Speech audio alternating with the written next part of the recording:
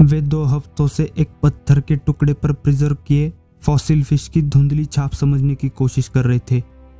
थकने और चकराने के बाद उन्होंने आखिरकार अपना काम एक तरफ़ रख दिया और उसे अपने दिमाग से निकालने की कोशिश की।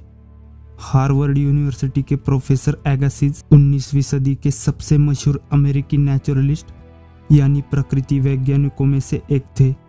उन्होंने अपने सबकॉन्शियस माइंड की अद्भुत शक्तियों को नींद में महसूस किया था। एक बार आधी रात को जब उनकी नींद खुली तो उन्हें यकीन था कि सोते समय उन्होंने उसी फ़िश को देखा था, जिसमें सभी मिसिंग फीचर्स पूरी तरह दिख रहे थे। लेकिन जब उन्होंने उस छवि को याद करने की कोशिश की तो वो उन्हें याद नहीं आई। फिर वो ये सोचकर प्रिजर्व किए फॉसिल फ़िश के पास एक बार फिर उस छाप को देखने गए ताकि उससे उन्हें वो सपना याद आए। वो कोशिश बेकार गई। धुंधला रिकॉर्ड पहले जितना ही अस्पष्ट था। अगली रात को वो मछली उन्हें दोबारा दिखी। लेकिन परिणाम वही थे। पहले की तरह ही जागने पर छवि गायब हो गई। वही अनुभव एक बार फिर दोहराया जाएगा।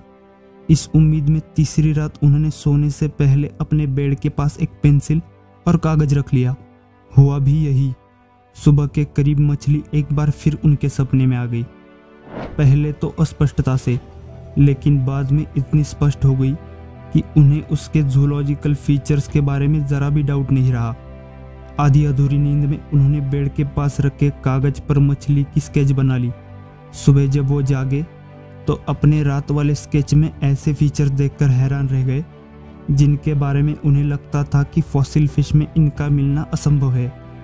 फिर स्केच की मदद से उन्होंने पत्थर की सतह को छेनी से छीला, जिसके नीचे मछली का बाकी पोर्शन छुपा हुआ था। जब मछली पूरी तरह बाहर आई तो वो उनके सपने और स्केच के अनुरूप निकली और वो आसानी से इसका क्लासिफिकेशन कर पाए। दोस्तों, हमने पिछली वीडियो में देखा कि सबकॉन्शियस माइंड कैसे काम करता है। चलिए उसे और डिटेल में समझते हैं। अब हम देखेंगे कि सबकॉन्शियस माइंड किस तरह सजेशंस पर काम करता है। वैसे तो सजेशन की डेफिनेशन ही पूरी कहानी बताती है।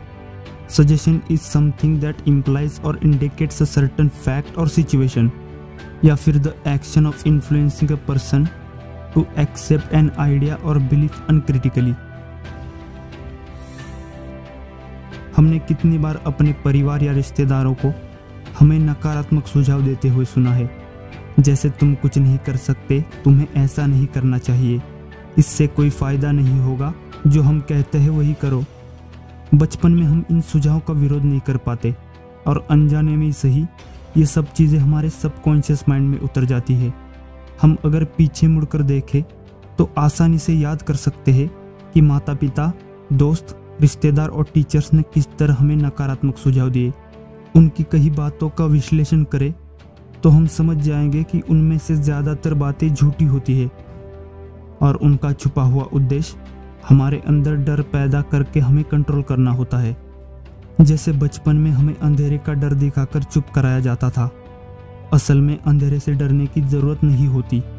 लेकिन सबकॉन्शियस माइंड में ये चीज़ें ऐसे बैठ गई है कि हम आज भी कहीं ना कहीं अंधेरे से डरते हैं।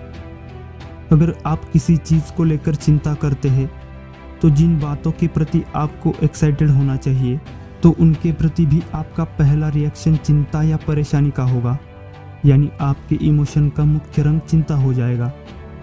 बचपन से चली आ रही निगेटिविटी के कारण एक दायरे के बाहर हम कभी सोच नहीं पाते और अपने अंदर छुपी असली प्रतिभा को कभी पहचान नहीं पाते। आप किसी पार्टी या कॉलेज फ़ंक्शन में गए हो और अगर आपका कोई दोस्त आपसे कहे कि, यार, तुम बहुत मस्त लग रहे हो। क्या खाकर आए हो? तो एकदम से आपके अंदर चमक आएगी और आप पार्टी या फ़ंक्शन कॉन्फिडेंस के साथ एंजॉय करोगे। दोस्तों, जितने भी महान या सक्सेसफुल लोग होते हैं, उनकी पर्सनैलिटी में एक बात हमेशा झलकती है। वो ये कि उनका समय कितना भी बुरा क्यों ना हो, वो हमेशा कुछ ना कुछ सीख लेकर आगे बढ़ते हैं। कहने का मतलब है कि ऐसे लोग किसी भी नेगेटिव सिचुएशन में कुछ ना कुछ पॉजिटिव कड़ी ढूंढते हैं। इसलिए बहुत ज़रूरी है कि अपने आप को हमेशा अच्छे लोगों से घेरे रखो। हम पॉजिटिव सजेशंस का इस्तेमाल लोगों को ऊपर उठाने के लिए भी कर सकते हैं। अगर आपके बिलीफ सिस्टम में निगेटिविटी है तो आपका दुनिया को देखने का नज़रिया वैसा ही होगा। इसके विरुद्ध अगर आपका बिलीफ सिस्टम पॉजिटिव है तो आप उसी नज़रिए से दुनिया को देखेंगे।